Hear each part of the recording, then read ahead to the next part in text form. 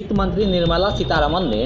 संसद में वित्तीय वर्ष 2024-25 का अंतरिम बजट पेश कर दिया है इस दौरान उन्होंने बड़ा ऐलान करते हुए कहा कि देश भर में गाँव में दो करोड़ और पीएम आवास तैयार किए जाएंगे इसके अलावा मध्यम आय वर्ग वालों के लिए भी एक आवासीय योजना शुरू होगी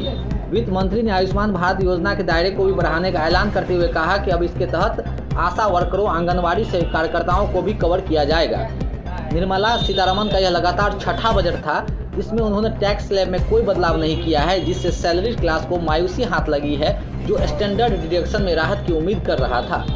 वित्त मंत्री निर्मला सीतारामन ने कहा कि डायरेक्ट बेनिफिट ट्रांसफर स्कीम के तहत जनधन खातों के जरिए 34 लाख करोड़ रुपए ट्रांसफर किए गए इससे 2.7 लाख करोड़ रुपए की बचत हुई जिससे कल्याणकारी योजनाओं के लिए पैसे की व्यवस्था हो पाई वित्त मंत्री ने कहा कि कोविड महामारी के बावजूद पीएम आवास योजना ग्रामीण के तहत तीन करोड़ घर मुहैया कराए गए दो करोड़ नए घर भी परिवारों को दिए जाएंगे इसके अलावा रेलवे के लिए भी बड़ा ऐलान करते हुए वित्त मंत्री ने कहा कि तीन कॉरिडोर बनेंगे यही नहीं तीस हजार वंदे भारत कोच भी बनेंगे बजट भाषण में वित्त मंत्री निर्मला सीतारमन ने रूप टॉप सोलर स्कीम का भी ऐलान किया उन्होंने कहा कि इस स्कीम के तहत एक करोड़ परिवारों को हर महीने 300 यूनिट बिजली फ्री मिलेगी पीएम सूर्योदय योजना के तहत इसका फायदा लोगों को मिलेगा पीएम नरेंद्र मोदी ने 22 जनवरी को इस बारे में मीटिंग भी की थी जिसके बाद स्कीम का ऐलान हुआ था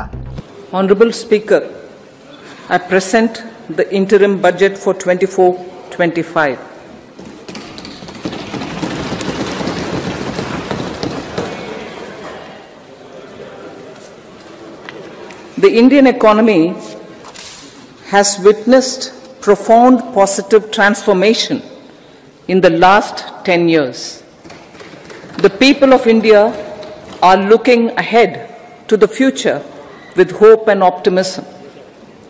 With the blessings of the people, when our government, under the visionary and dynamic leadership of Honorable Prime Minister Sri Narendra Modi, assumed office in 2014, the country was facing enormous challenges.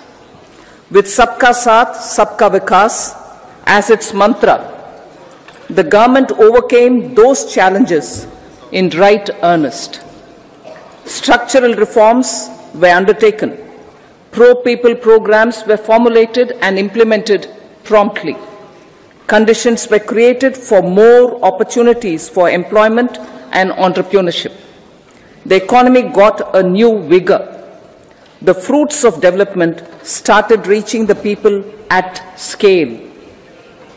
The country got a new sense of purpose and hope. Naturally, the people blessed the government with a bigger mandate.